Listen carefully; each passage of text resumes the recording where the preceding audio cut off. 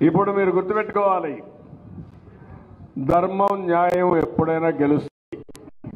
ఈ విషయం మీరు అందరూ గుర్తుపెట్టుకోవాలి. తాత్కాలికంగా దుర్మార్గులు పెట్టిపోతారు అది తాత్కాలికం. ఈరోజు మీరు చూశారు. హైకోర్టు జడ్జిమెంట్ వచ్చింది రాజధాని పైన. నేను అడుగుతున్నా మిమ్మల్ని అందరినీ. మీరు కూడా వాచ్ చేస్తున్నారు. హైదరాబాద్ అభివృద్ధి తొంభై ఐదులో నేను ప్రారంభించాను. ఫస్ట్ టైం హైటెక్ సిటీ కట్టాను. అక్కడి నుంచి ఏ విధంగా ఐటీ అభివృద్ధి చేయాలి అని ఆలోచించినప్పుడు హైటెక్ సిటీ అవుతానే మానవ వనరుల కోసం ఇంజనీరింగ్ కాలేజీలు ఇరవై ఐదు ఉంటే రెండు వందల యాభై కాలేజీలు చేశారు వీళ్ళు చదువుకుంటారు. ఈరోజు మీ ఊళ్ళో అంతా చదువుకొని ఐటీలో పనిచేస్తున్నారా? మీ ఊర్లో పనిచేస్తున్నారని అన్ని ఊర్లో ఐటీలో పనిచేస్తున్నారు కదా? ఉద్యోగాలు చేస్తున్నారు కదా? ఎవరేసిన ఫౌండేషన్ అది? ఆ రోజు మనం వేసిన విత్తనం ఈరోజు బ్రహ్మాండంగా ఒక ఆ ఫలితాలు అనుభవిస్తున్నారు వాళ్ళు. ఆ తర్వాత ఆలోచించి ప్రపంచం అంతా ఐటీ కంపెనీలు తీసుకొచ్చాం. ఈరోజు హైదరాబాద్ ఉంది. ఈరోజు హైదరాబాద్ మీరు చూస్తే అందరూ కూడా దేశమే గర్వపడే విధంగా హైదరాబాద్ డెవలప్ అయిందంటే ఆ రోజు మనం చూపించిన గొడవ విభజన జరిగింది. జరిగిన తర్వాత మనకు రాజధాని లేదు. నేను ఒకటే ఆలోచించాను. అక్కడ అభివృద్ధి చేశాం. ఇంకొక నగరాన్ని మనం కట్టాలని ఆ రోజు ఒక సంకల్పం చేసి నేను ఒకటే మిమ్మల్ని అందరిని అడుగుతున్నా. అనంతపూర్కి శ్రీకాకుళానికి సెంట్రల్ ప్లేస్ ఏదండి? అవునా కాదా? రాజధాని వస్తే ఎక్కడ ఉండాలి? ఇక్కడే కదా ఉండాలి. నేను అడుగుతున్నా ఈ జగన్ రెడ్డిని ఆ రోజు అసెంబ్లీలో మీరేం చెప్పారు? నాకు లేదు. సెంట్రల్ ప్లేస్ అని పెట్టండి. ముప్పై వేల ఎకరాలు ఉంటే చాలా సంతోషం అని చెప్పావా లేదా నువ్వు? ఇప్పుడు ముప్పై మూడు వేల ఎకరాలు రైతులు ఇచ్చారు. యాభై ఐదు వేల ఎకరాలు ప్రభుత్వ భూమి అన్ని కలుపుకుంటే యాభై ఐదు వేల ఎకరాలు వచ్చింది. ఎందుకు మాట తప్పావు? మడమ చెప్పవు కదా? మాట తప్పవు కదా? ఎందుకు మడమ చెప్పావు? ఎందుకు మాట తప్పావు జగన్ రెడ్డి? సమాధానం చెప్పమని నేను అడుగుతున్నా. నేను ఆ రోజు అసెంబ్లీలో ప్రవేశపెట్టినప్పుడు చెప్పాను. రామకృష్ణ రామకృష్ణయ్య కమిషన్ చెప్పింది. విజయవాడ గుంటూరుకి ఎక్కువ మార్కులు ఇచ్చారు. అదే మారిగా సెంట్రల్ ప్లేస్ అధికార వికేంద్రీకరణకు ఆ రోజే నేను నాంది పలికాను. మూడు జిల్లా ఏ జిల్లాకు ఏ అభివృద్ధి జరగాలో సాగునీరు కానీ కాలేజీలు కానీ అభివృద్ధి కానీ కానీ ఏమేం చేస్తానో చాలా స్పష్టంగా చెప్పి అందరికీ ఆమోయోగ్యమైనటువంటి అమరావతిని రాజధానిగా ఎంపిక చేశాం. ఆ రోజు అసెంబ్లీలో ఎందుకు సపోర్ట్ చేసి చెప్పారా లేదా మిమ్మల్ని అడుగుతున్నా మీరు కూడా చెప్పాలి అడగాలి నిలదీయాలి. ఆ రోజు మీకు కులం ఆ రోజు మతం రాలేదా? ఆ రోజు రాంది ఈ రోజు ఎందుకు వచ్చింది ఇది? అమరావతి ఒక రాజధాని ప్రజా రాజధాని. కొన్ని వేల గ్రామాల్లో అన్ని గ్రామాల్లో అన్ని దేవుళ్ళకి మొక్కి ఆ గ్రామంలో ఉండే మంచినీరు ఆ గ్రామంలో ఉండే పవిత్రమైన మట్టిని తీసుకొచ్చి ఈ ప్రాంతాన్ని అంతా పునీతం చేశాం. మక్కా నుంచి ఎరుసలం నుంచి ఢిల్లీ నుంచి స్వర్ణ టెంపుల్ నుంచి అన్నిటి కూడా తీసుకొచ్చాం. అలాంటి పవిత్రమైన స్థలాన్ని నాశనం చేయడానికి జగన్ రెడ్డి నీకు ఎట్లా మనసు వచ్చిందని అడుగుతున్నాను నేను. ఈయన ముఖ్యమంత్రి కాక మనపు ఇక్కడే తాడేపల్లి ఇల్లు కట్టుకున్నాడు. కట్టుకున్నాడా? అందరూ ఉపన్యాసం రోజు ఏం చెప్పారు? మీరు విన్నారు కదా? ప్రతి ఒక్కరూ పోటీ పెట్టి మాట్లాడారు.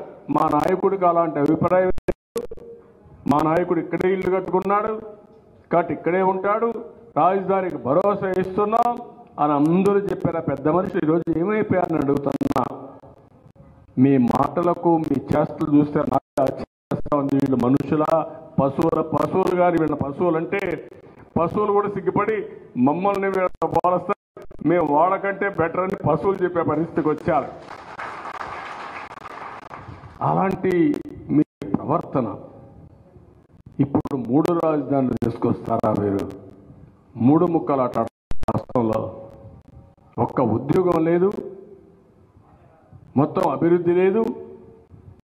రాజధానిని విధ్వంసం చేశారు. ప్రజావేదికతో ప్రారంభమైన విధ్వంసం నిరంతరం కొనసాగుతా ఉంది.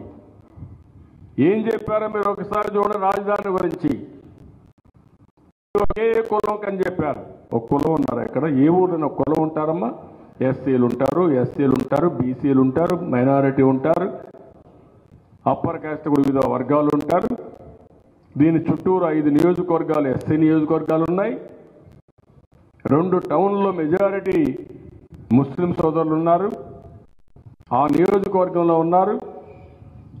అక్కడ ఎస్సీ పాపులేషన్ ఎక్కువ ఉంది. ప్రపంచంలో ఎక్కడా జరగని విధంగా తొంభై తొమ్మిది శాతం ఏకగ్రీవంగా ల్యాండ్ పోలింగ్కి ఏకైక ప్రాంతం మన అమరావతి అని చెప్పి కూడా నేను మీకు తెలియజేస్తాను ఎక్కడ ఇవ్వాల? ల్యాండ్ అనేది సెంటిమెంట్. వారసత్వంగా వచ్చేది భూమి. మన తాత ముత్తాత వాళ్ళ పేరు నుంచి మనకు ఆ భూమి వస్తుంది. ఆ భూమిని సుతరామం ఎవరు అమ్మరు? డబ్బులు ఇచ్చి గోల్డ్ ఇచ్చినా కూడా ఎవరు కొంతమంది? అలాంటి భూమిని ఎలాంటి తగరాదులు లేకుండా డిస్ప్యూట్ లేకుండా కోర్టు కేసులు లేకుండా ముప్పై మూడు వేల ఎకరాలు ఇచ్చారు. సాక్షాత్తు ప్రధానమంత్రి వచ్చాడు. సింగపూరు జపాన్ నుంచి మంత్రులు వచ్చారు.